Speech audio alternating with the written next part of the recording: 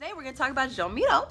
He is a artist from Spain and he loves lines and shapes. Big surprise, so do I, so do you, we all do. And we're going to combine it to make a story. You're going to tell me a story using some really interesting symbols inspired by Joan Miró. And um, that's pretty much it. We're going to paint, we're going to color, we're going to draw, we're going to have fun, all right? So pay attention. You know I'll be watching. Oh, it's time to start. Alrighty then, what we will do, I'm just playing, it's Miss Fuentes here.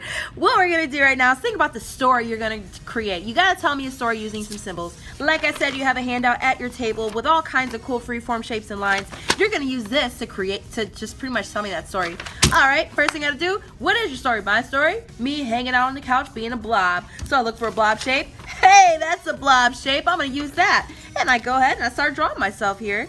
And boom, fill up that paper, guys. Don't give me a whole, some, some tiny little shape here. We're gonna be painting this thing, so you gotta give me some big shapes and lines. And then, okay, do I have an arm? What's my arm holding? I don't know, but let me go ahead and start with the arm. That's your second step. Give yourself some arms and give yourself some legs. Then start creating some more detail around the body.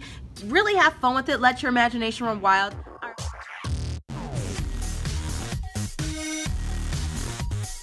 First grade, this is kind of what I'm expecting. Second graders, I want you to give me some more detail so you can go in and color in a couple little areas.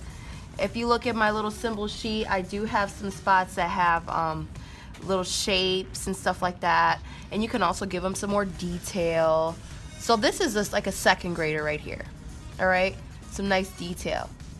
If you're a third grader, you should definitely have some more little figurines coming around it. Maybe he's got this weird little like a leaf shape underneath him. Given, give him an environment if you're in third grade. Alright, so I'm just to go ahead and show you how you can continuously add things. And as you know, there are a couple students in my class that are in second grade that draw like fourth graders and third graders. So feel free to add more and be a four. So this is what I'm looking for when it's time to paint. Fill up your space, however, whatever time you have enough for. And then we're to go in and start painting this guy. You're to get a cup of water with a paintbrush and you're to use some liquid watercolors today. All right, these are also really fun to use because it's so vibrant. And I have some glitter ones for you guys to use, so use whatever colors you want. Just know when you go in with the color, for example, green, I'm gonna go ahead and paint this guy right here green.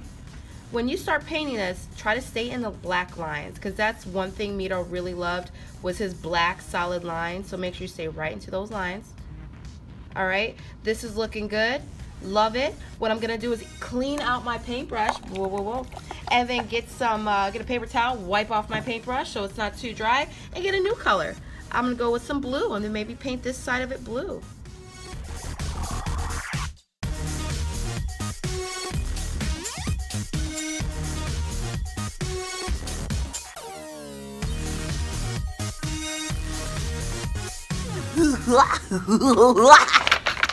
I finished. I'm so happy. You will be too once you give me that story using your Jean Miró inspired symbols. And make sure you give me some colors and lines and make sure there's no scribble scrabble. Either way, you're going to have fun with it. As long as you use your imagination and you can tell me a story today, you're going to do awesome.